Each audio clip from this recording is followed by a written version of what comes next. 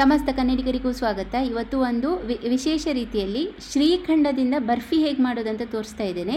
ಬೇರೆ ಬರ್ಫಿಗಳ ಥರ ಇದು ಇರೋದಿಲ್ಲ. ಸ್ವಲ್ಪ ನಾರಿನ ಥರ ರಬ್ಬರ್ ಥರ ಎಳೆ ಎಳೆಯಾಗಿ ಬರ್ತದೆ. ಆದರೆ ತಿನ್ಲಿಕ್ಕೆ ತುಂಬ ಚೆನ್ನಾಗಿರ್ತದೆ. ಹುಳಿ, ಸಿಹಿ ಮಿಶ್ರಿತವಾಗಿ ಇರ್ತದೆ. ಬನ್ನಿ ಹೇಗೆ ಮಾಡೋದಂತ ನೋಡೋಣ. ಮೊದಲು ಶ್ರೀಖಂಡ ಮಾಡ್ಕೊಳ್ಬೇಕು. ನಾನಿಲ್ಲಿ ಅರ್ಧ ಲೀಟರ್ ಆಗುವಷ್ಟು, ಅಂದರೆ ಫೈವ್ ಹಂಡ್ರೆಡ್ ಐನೂರು ಎಂ ಎಲ್ ಆಗುವಷ್ಟು ದಪ್ಪ ಮೊಸರನ್ನು ಒಂದು ಬಟ್ಟೆಯಲ್ಲಿ ಕಾಟನ್ ಬಟ್ಟೆಯಲ್ಲಿ ಈ ರೀತಿ ಹಿಂಡ್ಕೊಳ್ತಾ ಇದ್ದೇನೆ. ಅದರಲ್ಲಿರುವ ಎಕ್ಸೆಸ್ ವಾ, ನೀರಿನ ಕಂಟೆಂಟ್ ಏನಿದೆ, ಅದನ್ನು ಹಿಂಡಿ ತೆಗಿತಾ ಇದ್ದೇನೆ. ಹೀಗೆ ಹಿಂಡಿ ತೆಗೆದಾದ ಮೇಲೆ ಈ ಬಟ್ಟೆನ ಒಂದು ಗಂಟು ಹಾಕಿ, ಮೂರರಿಂದ ನಾಲ್ಕು ಗಂಟೆಗಳ ಕಾಲ ತೂಗು ಹಾಕಿ, ಅಥವಾ ರಾತ್ರಿ ಇಡೀ ತೂಗು ಹಾಕಿದ್ರೂ ಪರವಾಗಿಲ್ಲ. ಹೋಗ್ತಾ ಇರುವ, ಹಿಂಡಿ ತೆಗಿತಾ ಇರುವ ನೀರನ್ನು ಎಸಿಲಿಕ್ಕೆ ಹೋಗಬೇಡಿ. ಅದನ್ನ ಯಾವುದೇ ಪಲ್ಯ ಏನಾದರೂ ಮಾಡುವಾಗ ಹಾಕ್ಕೊಳ್ಬೋದು ಅದು ಪ್ರೋಟೀನ್ ರಿಚ್ ಆಗಿ ಇರ್ತದೆ. ಹೀಗೆ ನಾವು ಗಂಟು, ನೀರಿನ ಅಂಶ ತೆಗೆದಿರುವಂಥ ಮೊಸರು, ಹಂಕರ್ಡ್ ಅಂತ ಹೇಳ್ತೇವಲ್ಲ, ಒಂದು ಕಪ್ ಆಗುವಷ್ಟು ಹಂಕರ್ಡ್ನ ಒಂದು ಪ್ಯಾನ್ಗೆ ಹಾಕ್ಕೊಂಡಿದ್ದೇನೆ. ಅದಕ್ಕೆ ನೀವು ಸಕ್ಕರೆ ಹಾಕ್ಕೊಳ್ಳಿ ನಿಮ್ಮ ಸಿಹಿಗನುಗುಣವಾಗಿ ಹಾಕ್ಕೊಳ್ಳಿ ಅರ್ಧ ಕಪ್ನಿಂದ ಮುಕ್ಕಾಲು ಕಪ್ ಆಗೋಷ್ಟು ಕೂಡ ಸಕ್ಕರೆ ಹಾಕ್ಕೊಳ್ಬೋದು. ಸಕ್ಕರೆ ಹಾಕಿದ ಮೇಲೆ ಮಧ್ಯಮ ಉರಿಯಲ್ಲಿ ಇದನ್ನ ಚೆನ್ನಾಗಿ ಕಾಯಿಸಬೇಕು. ಸಕ್ಕರೆ ಕರಗ್ತಾ ಹೋದಾಗೆ ಇದು ನೀರು ನೀರಾಗಿ ಆಗ್ತದೆ.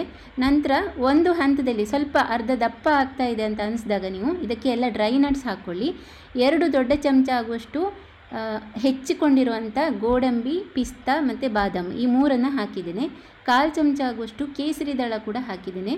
ಕೈ ಬಿಡದೆ ಇದನ್ನು ಮುಗುಚುತ್ತಲೇ ಇರಬೇಕು. ಮತ್ತು ಇದನ್ನು ಅದು ತಳ ಬಿಡೋ ತನಕ, ಅದು ಒಂದೇ ಲಂಪಾಗಿ ತಳ ಬಿಡಲಿಕ್ಕೆ ಪ್ರಾರಂಭ ಆಗೋ ತನಕ, ದಪ್ಪ ಆಗೋ ತನಕ, ಇದನ್ನ ಹೀಗೇ ಮಗುಚುತ್ತನೇ, ಮೊಗಚುತ್ತಾನೇ ಇರಬೇಕು ನೀವು. ಈಗ ಅದು ಒಟ್ಟಾಗ್ತಾ ಇದೆ ನೋಡಿ.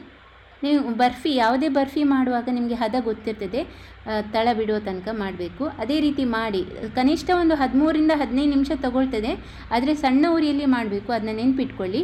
ಇದನ್ನು ಒಂದು ಟ್ರೇಗೆ ಹೀಗೆ ಹರಡಬೇಕು. ನೀವು ಎಷ್ಟೇ ಅದು ದಪ್ಪ ಆಗೋ ತನಕ ಬಿಟ್ಟರೂ ಕೂಡ ಅದು ಸ್ವಲ್ಪ ನಾರಿನ ಥರ ಇರ್ತದೆ. ಅಂದರೆ ನೀವು ಅದನ್ನ ಸ್ಟ್ರೆಚ್, ಈಗ ತುಂಡು ಮಾಡಿದಾಗ ನಿಮಗೆ ಕರೆಕ್ಟಾಗಿ ತುಂಡಾಗೋದು, ಒಂಥರ ರಬ್ಬರ್ ಥರ ಆಗಿ ಇರ್ತದೆ. ಅದು ಯಾಕೆ ಅಂತ ಹೇಳಿದರೆ ನಾವು ಇದರಲ್ಲಿ ಯಾವುದೇ ಹಿಟ್ಟು ಹಾಕ್ತಾ ಇಲ್ಲ. ಬರೀ ಮೊಸರು ಸಕ್ಕರೆ ಇದೆ. ಮೈದಾ ಹಿಟ್ಟು ಹಾಕಲಿ, ಹಾಗೆ, ಆಗಲಿ ಅಥವಾ ರವೆ ಆಗಲಿ ಏನನ್ನೂ ಹಾಕಿಲ್ಲ. ಮೇಲ್ಗಡೆ ಅಲಂಕಾರಕ್ಕೆ ನಾನು ಸ್ವಲ್ಪ ಪಿಸ್ತಾನ ಹಾಕಿ ಟ್ರೇನಲ್ಲಿ ಎರೆದು ಇದನ್ನ ಹೀಗೆ ತಟ್ತಾ ಇದ್ದೇನೆ. ಸರಿಯಾಗಿ ಇದನ್ನು ಆರಲಿಕ್ಕೆ ಬಿಡಿ. ನಿಮಗೆ ಇಲ್ಲಿ ಟೆಕ್ಸ್ಚರಲ್ಲೇ ಗೊತ್ತಾಗ್ತಾ ಇರ್ಬೋದು. ಅದು ಒಂಥರ ಸಾಫ್ಟಾಗಿಯೇ ಇದೆ ಅಂತ. ಕಟ್ ಮಾರ್ಕ್ಸ್ ಚಾಕುವಿನಲ್ಲಿ ಗೆರೆನ ಎಳೆದು ಇಟ್ಕೊಳ್ಳಿ. ಸರಿಯಾಗಿ ಅದನ್ನ ಸೆಟ್ ಆಗಲಿಕ್ಕೆ ಬಿಟ್ಟು ನಂತರ ತೆಗೀರಿ. ಎಷ್ಟೇ ಸೆಟ್ ಆದರೂ ಕೂಡ ಸ್ವಲ್- ಸ್ವಲ್ಪ ಸಾಫ್ಟಾಗಿ ಇರ್ತದೆ ಬಟ್ ತಿನ್ನಲಿಕ್ಕೆ ತುಂಬ ಚೆನ್ನಾಗಿರ್ತದೆ. ಹಂಕರ್ಡಿನ ಮಾಡಿರೋದ್ರಿಂದ ಸ್ವಲ್ಪ ಸ್ವಲ್ಪ ಹುಳಿ ಅಂತಲೂ ಅನಿಸ್ತದೆ. ನಿಮಗೆ ತುಂಬ ಸಿಹಿ ಬೇಕು ಅಂತಿದ್ರೆ ನೀವು ಸಕ್ಕರೆ ಪ್ರಮಾಣನ ಜಾಸ್ತಿ ಮಾಡ್ಕೊಳ್ಬೋದು. ಆದರೂ ಹುಳಿ ಸಿಹಿ ಮಿಶ್ರಿತವಾಗಿ ಇದ್ದರೆ ಈ ಬರ್ಫಿ ರುಚಿ ಚೆನ್ನಾಗಿರ್ತದೆ.